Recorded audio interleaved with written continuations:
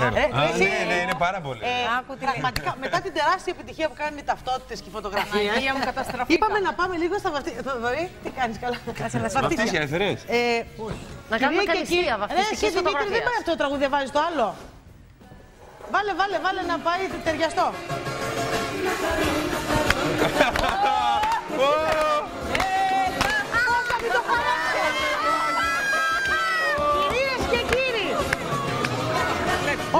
Βλέπετε μεγάλο. η φωτογραφία είναι ασπρόμαυρη, δεν είχε μπει το τεχνικολόρ ακόμα γιατί είναι τα Ο βαφτίσια ψάρο του φεκάς είναι. Έτσι είναι, ασπρόμαυρη. του Γρηγόρη κυρίες και κύριοι.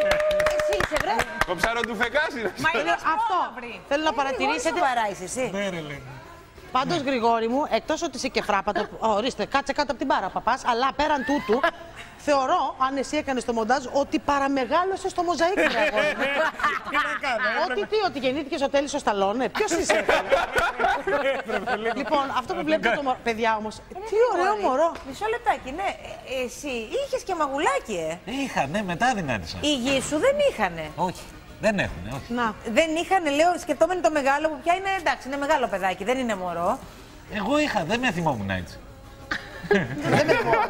Ρε, εσύ, Γρηγόρη. Είσαι ζουμπουρλούδικο και ωραίο. Πολύ. Πολύ Τώρα που σε βλέπω εδώ δεν μοιάζει με τα αγόρια σου. Εγώ με το... Ό,τι σου είπε. Όχι, όχι, δεν είναι. Τώρα μην με ενσιώνεις. Ό,τι σου είπε για Δευτέρα. Με το μικρό. Μάζεψε το σιγά σιγά. Με το μικρό μοιάζω.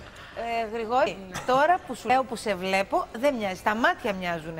Το σχέδιο ματιού. Ε, δεν Αλλά τα πειράζει, πες υπόλοιπα εσύ. όχι, Ο παιδί μου, δεν Δροστοδίας μοιάζεις είναι. τώρα.